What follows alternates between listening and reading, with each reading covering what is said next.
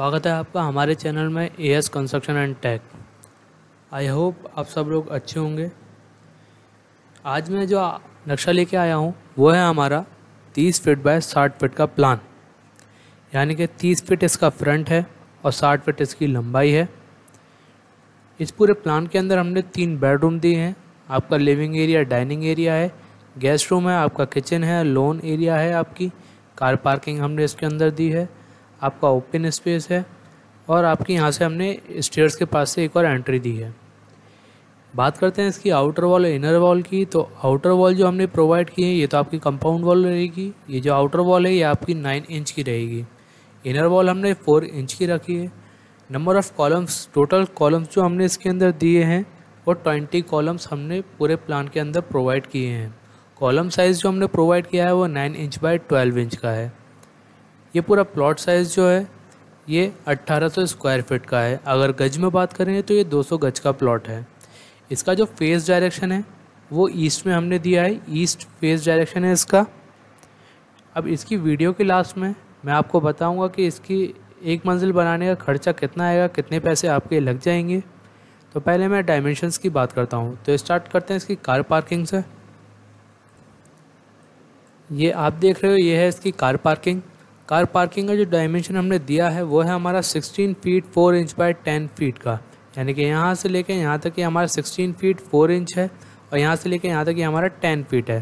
तो ये हमारी कार पार्किंग का और एरिया हो जाएगा तो यहाँ पर हमारी ईजिली कार जो है वो आ जाएगी। यहीं से आप देख रहे हो, मैंने एक, दो स्टेयर्स दिए हैं, यहाँ से हम आएँगे तो यहाँ पर जो हमारा स्पेस है तो थ्री फीट वाइड गैलरी हमने यहाँ पर प्रोवाइड की है। इसी तरह से यहाँ पर हमने लॉन एरिया प्रोवाइड किया है, आप देख सकते हो यहाँ पर।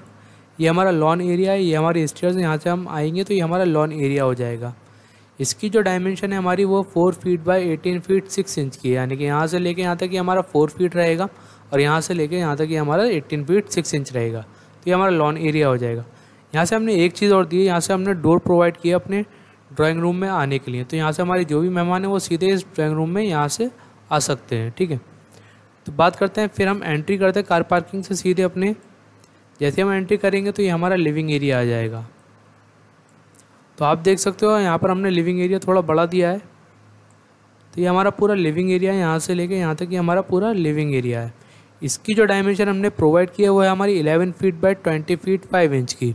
यानी कि यहाँ से लेके यहाँ तक ये हमारी 11 फीट रहेगी और यहाँ से लेके यहाँ तक ये हमारी 20 फीट 5 इंच रहेगी। तो यहाँ पर हमारा सोफ़ा सेट आ जाएगा, यहाँ हमारी डाइनिंग टेबल आ जाएगी।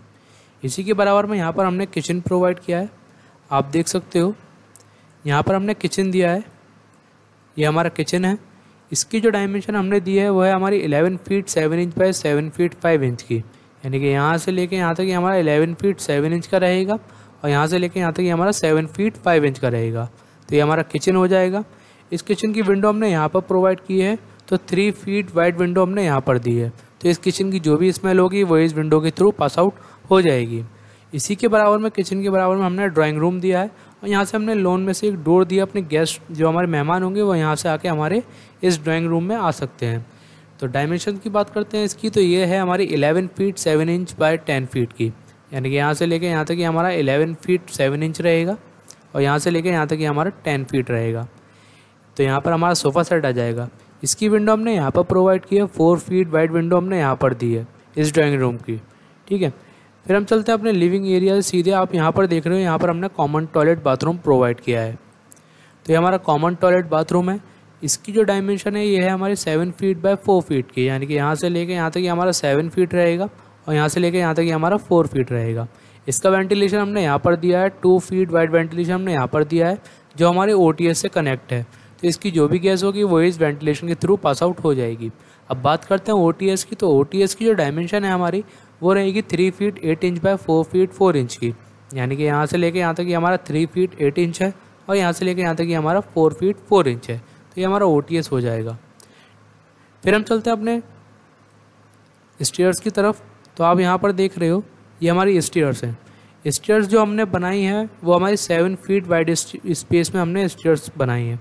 स्टेयर्स जो हमारी three feet wide three feet wide stairs हमने यहाँ पर प्रोवाइड किए हैं तो यहाँ से हम अपने फ़र्स्ट फ्लोर पर जाएँगे। अब यहाँ पर आप एक एरो देख रहे हो, यहाँ से हमने एंट्री दी है। यानी कि स्टेयर्स के नीचे हमने एक डोर प्रोवाइड किया तो यहाँ से हम सीधे अपने इस गैलरी एरिया में आ जाएँगे और सीधे। तो दो जगह से हमने इसके अंदर एंट्री दी है। एक तो हमारी कार पार्किंग में से एंट्री दी है, और दूसरी हमने इस जगह से एंट्री दी है। तो यहाँ पर आप इतने में अगर आप इतने में बाउंड्री कराते हो बाउंड्री मतलब अगर स्टेयर्स को आप ओपन नहीं रखते हो, इतने में बाउंड्री कराते हो तो ये आपकी बिल्कुल सेपरेट हो जाएगी तो आपका फ़र्स्ट फ्लोर यहाँ से रेंट के लिए उठ सकता है। ठीक है? अब स्टेयर्स की विंडो हमने यहाँ पर प्रोवाइड की है तो थ्री फीट वाइड विंडो हमने स्टेयर्स के नीचे प्रोवाइड की है। ठीक है? आप चाहो तो यहाँ पर इसके स्टेयर्स के नीचे जो स्पेस बचेगा, वहाँ पर आप अपना वॉश बेसन रख सकते हो। अब चलते हैं हम अपने फ़र्स्ट बेडरूम की तरफ़ तो आप देख सकते हो ये हमारा फ़र्स्ट बेडरूम है। ये हमारा फ़र्स्ट बेडरूम है। उससे पहले हम आपको दिखाते हैं, ये हमारी जो गैलरी है, गैलरी हमने यहाँ पर गैलरी दी है एक three feet six inch wide gallery हमने यहाँ पर प्रोवाइड की है।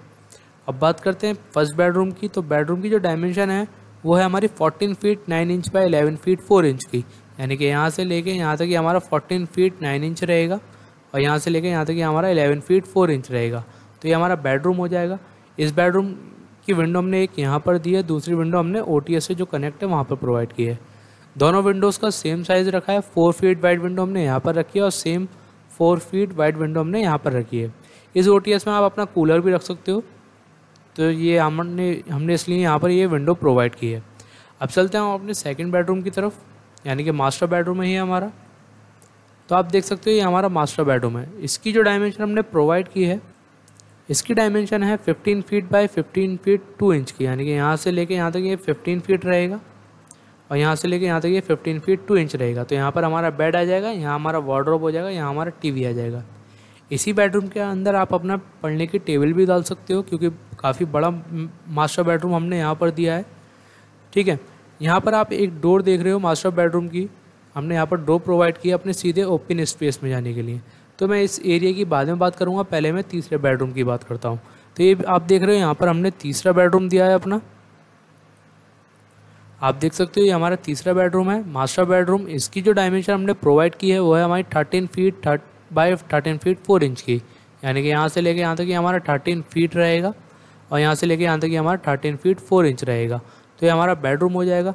इस बेडरूम की विंडो एक हमने यहाँ पर दी है, जो ओपन स्पेस में लगी ओपन स्पेस से कनेक्ट है। फोर फीट वाइड विंडो हमने यहाँ पर प्रोवाइड की है।